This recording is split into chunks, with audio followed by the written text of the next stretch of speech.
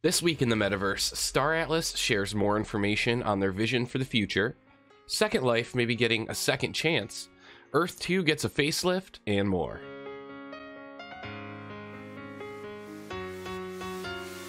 What is up, guys? Welcome back to the Bowl Combo. I hope you're all doing great, and I hope you're having a fantastic day. It's been another week in the metaverse, and that means we have another week's worth of metaverse news to get to. So, without any further delay, let's jump right into this week's metaverse update.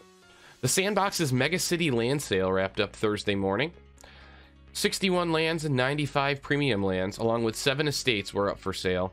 This is the first sale of 2022 in the Sandbox metaverse, and let's hope that there's lots more sales this year for people to get an opportunity to get in on land ownership.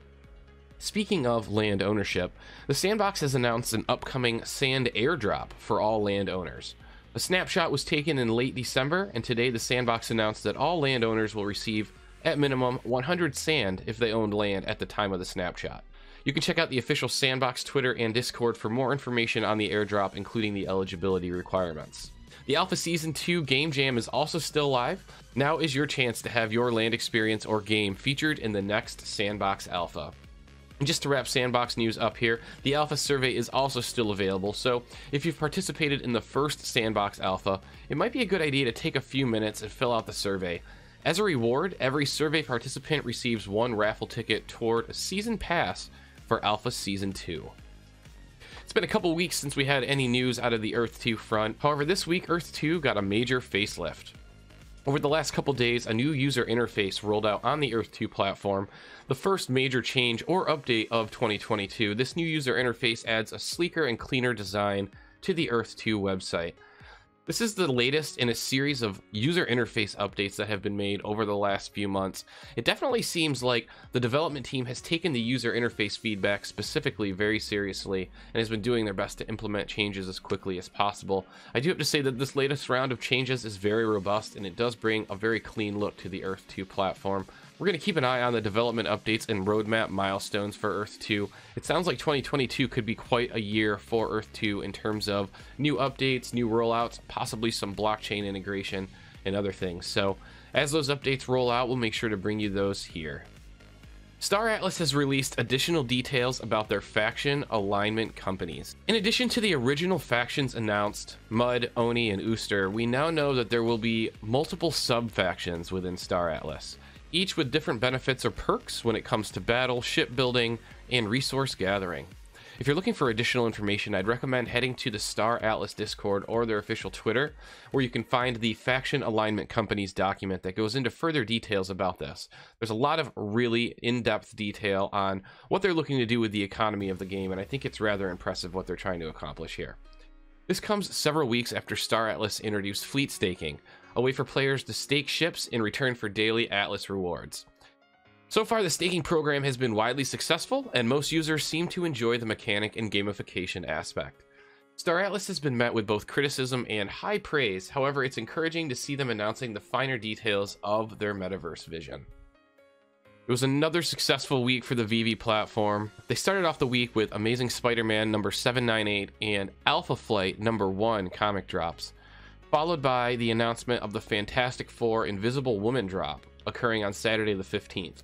Interestingly enough, with this drop, they originally incorrectly announced it as being in blind box format. However, due to user outcry and feedback after that announcement, VeVe did in fact go ahead and change the drop style to be blind box format. I thought that was a pretty cool move by VeVe in regards to listening to their community and taking that feedback seriously. In addition to that, VeVe also announced the Jermaine Rogers Veil Specimen drop that's going to be releasing on Sunday, January 16th. Over the last couple weeks, the VeVe collectibles have seen a major increase in value, both on the collectible side and on the comic side. It seems like there's a lot of momentum working and building inside of the VeVe platform right now, possibly aided by the recent Immutable X migration. Nevertheless, VeVe is a platform we're going to have to watch as we head into 2022 because I think we're going to see lots of great things. Philip Rosedale, Second Life's founder, has decided to task a core team with working on Second Life and evolving the platform, now that the metaverse has become a buzzword yet again. Rosedale thinks that VR headsets could hit an iPhone moment, but maybe not for another few years, and in the meantime, he's shifting focus to a metaverse platform that doesn't require headsets. Rosedale is going to be a strategic advisor for Second Life, and while his company High Fidelity looks to infuse Second Life with some new ideas, they're simultaneously working on other ideas for future tech, including at some point VR. The reason for this shift is that Second Life still makes money and still has a considerably larger community than many VR platforms. At this time, it had over 73 million accounts created since its launch, and some estimate that an active user base is still hovering around 900,000. Rosedale sees this shift as solving a problem while VR hardware still gets the thought out and still gets to that mainstream level. We'll see how this affects the future success of Second Life and how it fits with the modern mold of a metaverse in general. Alright guys, and before we get to this last update of the day, if you guys like this video, make sure to hit that like button, and if you guys like the content you're seeing here, make sure to hit that subscribe button and hit the bell to get notified when I post new videos. It really helps the YouTube algorithm push these videos out to other people that'll find them useful. So again, if you're finding them useful, if you find value in these videos, make sure to hit that like button, subscribe to the channel, hit that bell to get notified. It is greatly appreciated. Turkish cattle farmer Izzet Koçak has experimented with virtual reality headsets on some of his cows, and the results were both positive and surprising. Developed in cooperation with veterinarians to ensure cow safety, these VR headsets were first tested in Moscow, Russia. The virtual reality headsets create the illusion that the cows are standing outside in a sunny field. The hardware is a standard human VR headset that's been modified to fit a cow's head. In this case, he claims that the cow's milk output has increased from 22 to 27 liters a day, as well as an improvement in the quality of the milk output. This after using the VR devices on two of the cows. In addition to walking his animals around the large pasture, Koçak allows them to listen to relaxing music with these VR glasses. He decided to start with two cows, and at the moment they're in the test phase, but he's ordered 10 more virtual reality glasses for the next phase, and if they're successful, he'll be ordering glasses for the entire herd. I do have to say this is both incredibly interesting, mildly hilarious in terms of this VR use case, but at the same time, it makes a ton of sense. And if these animals are already going to be in a specific area, and if these areas, and if these animals are already going to be in a contained area for their entire lives, why not make it a little bit more enjoyable?